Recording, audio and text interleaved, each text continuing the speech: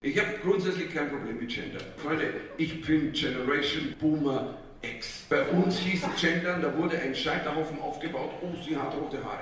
Es ist viel passiert. Versteht du? Ich war in der Schweiz, ihr wart immer ganz weit vorne. Im Frauenbusiness, ganz weit vorne. Bei euch dürfen die Frauen schon wählen seit 1974. Verstehst du? Das ist ganz weit vorne. Das außerhalb der Schweiz erzählt. Das, ist, das glaubt ja niemand. Wie wurde denn das überhaupt eingeführt, das Frauenwahlrecht?